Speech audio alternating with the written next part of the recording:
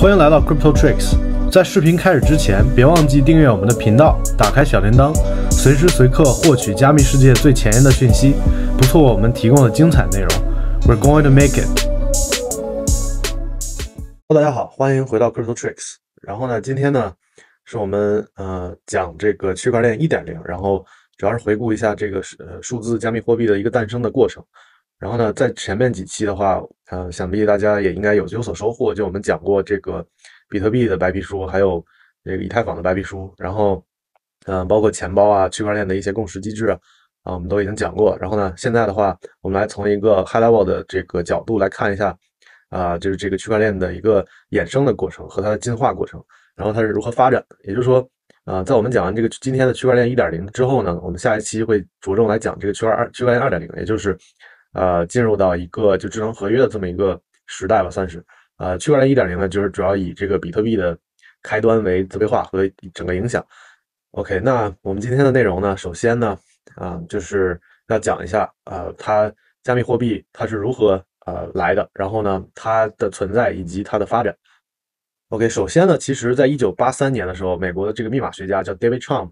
然后他他发明了这个 eCash，然后呢，它可以是通过这个 DigiCash，也就是数字。呃，这种现金的方式，然后可以实现这种加密电子交易。然后呢，用户需要是从这个银行去提前出来，然后通过这个 DigiCash 进行这个电子转账。然后呢，这个整个过程是匿名并且无法追踪的。但是呢，由于它较早，然后后来也没有得到很好的这个呃推广，所以它这个 DigiCash 就后来的破产了。但是呢，它的它的一个发明其实是最早通过这种就是加密学，然后去进行这种加密的电子交易呢，它做了一个非常好的开端。在第二个阶段的时候呢，就是在一九九八年，然后这个啊戴威吧，然后威威戴提出了这个 B Money，那这个 B Money 其实也是一名的这个分布式电子现金系统。然后呢，这之后呢，这个 Nick Sabo 就是又提出了这个 bigold 就是比特币金，然后是通过这个使用工作量证明的机制来驱动的交易系统。那其实呢，随着这个世界货币金融体系，尤其是美国的发展与变化，这个法币的这个就是应用也好，包括这个与黄金的脱钩。然后以及上世纪末的这种逐渐的互联网与这个计算机科学的发展，那电子货币的这个出现与发展是一直都存在的。但早期呢的一些这些解决方案以及系统，由于不够成熟，然后缺少人们的这个采用与普及，所以是达不到呃它的一个像现在有这么影响力的一个效果。但是呢，这些都是以为比特币的诞生提供了非常的这个重要的基础和前提条件。OK，那二零零九年初呢，就是当时当时的这个全球金融危机背景下呢，这华尔街。啊，金融信用体系这个崩塌，然后 Satoshi Nak Nakamoto 发表的这个比特币的白皮书就诞生了嘛。然后呢，结合这个加密学算法与这个工作量证明的这种共识机制呢，成功创造出了一个相对完整的这种去中心化的交易系统，以及我们熟知的加密货币比特币。OK，但在这个比特币之诞生之初，也是在小范围的这种 community 中使用，以及这个参与节点认证，然后直到后来逐渐有更多人的参与以及认识，才得以有现在这种影响力吧。那这里推荐大家可以去这个 Coursera 上，呃，就是可以去关注一下这个课，叫 How Software A Finance 这门课，然后这个是免费可以去注册的，呃，然后呢，这个 lecture 是 Martin Shavitz，然后他是一个背景非常丰富的，就是之前是最早期都是呃学计算机的，然后他是一个计算机科学家，然后后来是进入到高盛，然后去做 data 相关的一些系统搭建，然后最后是做到了高盛的 VP，对，所以他他的在这个金融与计算机行业 FinTech 行业。有大概二三十年的背景，所以这门课我觉得他从这个啊货币政策以及金融体系的角度去切入，然后谈及计算机系统以及像软件，然后还有 API，它是如何慢慢的就是融合到这种传统金融里来，然后并且他他也指出了就是说像比特币这种新新的货币形式出现是如何呃影响现在的这个金融体系，以及这个呃国家的这种 CBDC 的发行是否是。合理的，或者说它应该整个解决方案应该是什么样的？所以这个呃，通过这个这个课的话，我觉得可以给你给大家一个很好的就是 FinTech Financial Technology 这个角度去看一下整体的这个格局是什么样的。对，那在比特币之后呢，又出现了一些不同的应用啊，以及加密货币，比如像像这个 Namecoin、Litecoin 等等一些比特币的分叉，在近十年的时间呢，除了主流的这个市值够大的，我们都熟悉的加密货币，以及以比如以太坊啊、Solana、Cardano。然后还有像那种 Layer 零的 Block Blockchain co 呃 Cosmos，还有像 Polkadot，应该有超过九千种加密货币出现在市场上。那其实回顾一下区块链加密货币的发展，也跌宕起伏有十余年了。那在这个空间中呢，有来自不同角度和社会的声音，有来自这种社会各界的信徒，也有持有怀疑的这种抨击者。但是呢，无疑是区块链的发展是从未停止的，因为它并不是没有价值的一个存在。那首先我这里再推荐一个啊 YouTube 上的另外一个视频，叫呃这个 Stanford 是 Stanford 的一个 Seminar，然后 Webinar 吧，然后这个叫名字叫 Web3 Considered Possible Futures for Decentralization and Digital Ownership。这个这个课呢是呃有两位这个三 webinar 是有两位这个计算机科学家或者也是曾经的创业者教授，然后从 high level 讨论了 Web 三的发展。这两个人一个人叫 John Mitchell，另外一个人叫 Mark Mitchell。感兴趣的朋友们，大家可以去看一下。然后我们会把这个链接放到这个 description 里。然后这个这整个 webinar 中呢，我觉得最重要的一个是他们啊总结了一下整个区块链的这么一个行业中的一个 landscape，也就是我们可以看到这图中就是 blockchain 作为一个底层的。啊，就是非常底层的一个驱动的技术，然后或者说一个机制，呃，它它从比如说再往下走的话，它从 technology 也是技科技，然后 ledger 账本，然后还有 finance 就是这个金融，然后以及现在我们大家都听到的 Web 三，这么这么四呃延展出来这么四个领域，对，所以它的呃我们我们可以看就是说这个 blockchain 它所带来的，因为它本身具有这个经济的性质，然后有具有自己的货币。然后包括它是以这么一个 financial service 的初衷来去诞生的这么整个啊驱动呃这个 blockchain 的这么一个技术。那它呃除了像最最早期的时候，我们从这个科技的角度出发，然后它分为这个 open 开放和 closed，就比如说是 public blockchain 或者 private private blockchain。那 open 的话就是对于 public 来说，就是对于公众可以参与的话，是通过这种比如 proof of work 和 proof of stake 的这种协议。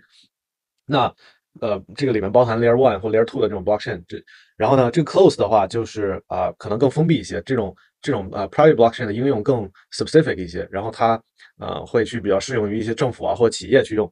OK，那这个 Ledger 的话呢，就是啊通过这种账本，就是不可篡改账本的这种特性的话，它可以去来比如说解决通过区块链来解决这个 supply chain，也就是供应链的问题，然后包括 credentials，然后这个包括房产。这种类似于类似于这种房产的这种去账记记账，然后去不可篡改的这么一个特性。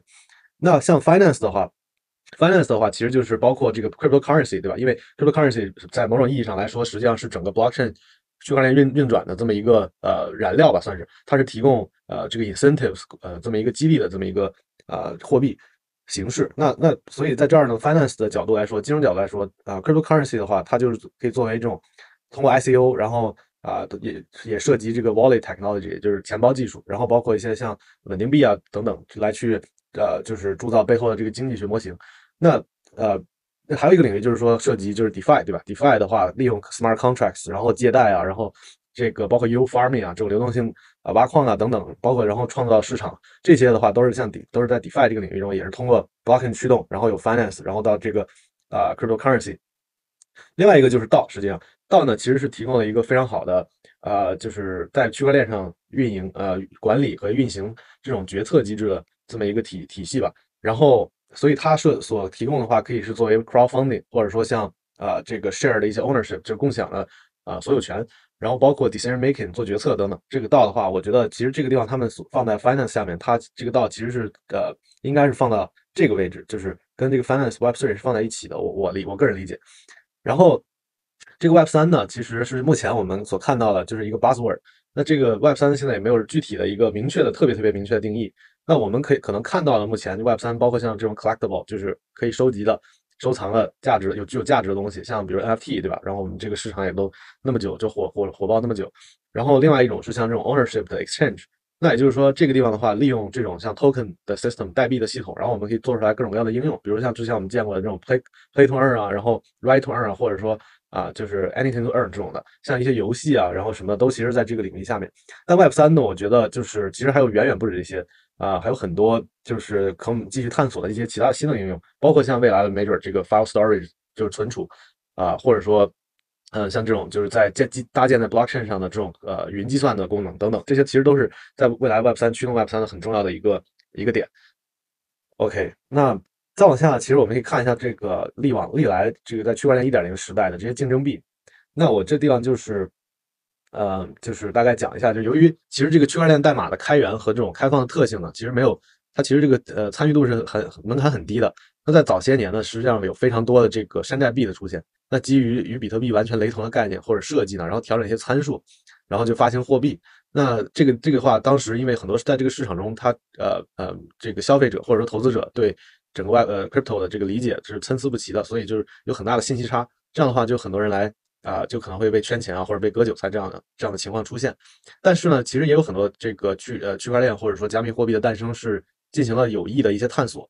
啊，这就是其实为什么我们在接触这个 crypto 前呢，需要去啊，也就是 DYOR，就 Do Your Own Research，自己去研的研究清楚，所以具备一定要具备一种学习能力。那在二零一一年到二零一四年间呢，有非常多的这个加密货币如春笋般冒出。当时呢，威神也加入过这个 Mastercoin，叫万事达币，进行这个合约金融合约的探索。但在这个过程中呢，也可以让人看清楚，就是说比特币的其实局限性以及它这个区块链开发的这个难度。那但是呢，后来这个以太坊的诞生，的确。的的确确呢，将这个区块链的世界带入到下一个境界，然后打开了很多大门。那我们这里再看一下，就是说当当时几个这种竞争币的一些简介。那这里呢，呃，都称之为这个 altcoins 吧，也就是说，除了比特币的这个剩下的一些货币，都是称之为这种 altcoins。那首先第一个无疑就是 Dogecoin，对吧？就大家都很清楚的这个狗狗币。那这狗狗币实际上应该是就是几乎跟呃用的比特币的代码。那它是一个非常出名和诙谐的这么一个加密货币。然后呢，我印象中这个狗狗币的创始人最早完全是因为好玩，然后才搞了这么一个 Dogcoin 出来。然后也从来没有想过，就狗狗币会受受到这个如此如此多人的青睐以及这个炒作。然后那后来呢，其实还有像这种柴犬币啊，然后差不多的性质，其实都然后给大家都增添了非常多的乐趣。那还有下一个就是说这个 Dashcoin，那这个 Dashcoin 当时的出现呢，也是啊。特点呢是交易速度变得变得很快，然后然后拥有这个廉价的一个手续费。其实相比这个比特币的话，是一个非常大的改进。然后呢，并且 Dash 本身的运作机制其实就就算是一个道。那其实它还有一个就是自给自足的这种预算系统和去中心化的这么一个决策机制，去管理整个这个区块链。所以它这个 Dashcoin 的话，也是一个啊存在比较有名的。那可能还有一个比较有名的就是这个 Ripple 啊 X 呃 XRP 对这个瑞波币的话，我我相信大家都都知道。然后它的目标。是类似于取代这种 SWIFT 这种全球呃货币转账的支付系统，然后可以让这种不同货币、不同地区之间的转账变得高效以及低成本嘛。那这个 Ripple 拿到了很多的非常多的投资，并与很多大的银行进行了这些合作伙伴关系的建立。但是呢，它有非常多的诟病，比如说这个发币机制以及比较是比较中心化的，然后而它是集中化的一些管理治理，然后大部分的这些怎么说代币啊，其实都是呃掌握在这个创始人和这个 Ripple 这家公司手中。然后呢，啊，并且呢，这个区块链协议也是比较中心化这么一个一个程度，所以啊，并无法让我们完全信服它的这种 legitimacy，然后以及未来是否可以成为一个可靠的这么一个呃区块链的系统。OK，那其实最后呢，呃，也想跟大家说一下，就是为什么这些呃这些竞争币呃它存在的意义是什么？那首先呢，我觉得竞争币啊就更并不是山寨币啊，就 altcoin 并不是那种山寨币，呃，竞争币的就是它的存在呢，在探索这个区块链发展与这种应用呢，其实都起到了非常大的作用。比如提出新的这种啊共识算法与机制，对不对？然后改进这种货币经济学，然后以及决策机制等等。其实它是在这种就是比特币的基础上进行了更多的探索，然后延伸到更多的行业中，那让这个区块链的行业有了这种百家争鸣的景象。其实，在宏观上呢，是对这个区块链与啊加密货币的应用呃探索进行了一些做了很大的贡献的。那智能合约的出现呢，实际上也是具有非常颠覆性的，那让我们看到了区块链应用的更多可能，然后平同时可以自动化非常多的。啊，一些 process，那同呃，这也是我们的一个下一个阶段，就是说需要去探索更多的一些一些东西。那其实，所以就是说，啊，嗯，区块链一点零的一个时代呢，其实就是啊，嗯，也是一个非常有意思的啊这么一个探索阶段。然后呢，啊，有很多的币出现，然后还有以这个比特币为首，对吧？但是现在啊，未来的话，我觉得呃，我们就会看到更多的这种出呃，就是基于比如说以太坊上，然后包括像一些新的啊机制，或者说。啊，像跨链桥等等这些各种各样的应用都会变得越来越完善，所以在下一期呢，在区块链二点零的时候，我们会啊，就是着重讲这个就是以太坊，包括这个智能合约它的整个一个原理，然后包括像 EIP、ERC 等等这些各种各样的 pro proposal 和这个协议。OK，然后呢，呃，所有的这我今天讲这些内容还是都在我们那个 blockchain 学习计划中，然后啊，感兴趣的话，同同朋友们也可以去看一下，然后包括一些好的链接都在里面。啊，这个 Google Doc 的呃 link 在我们的这个 description 中。啊，好了，这就是我们今天的内容。呃，谢谢大家，然后我们下期再见。别忘记 subscribe 和 like 我们的 video。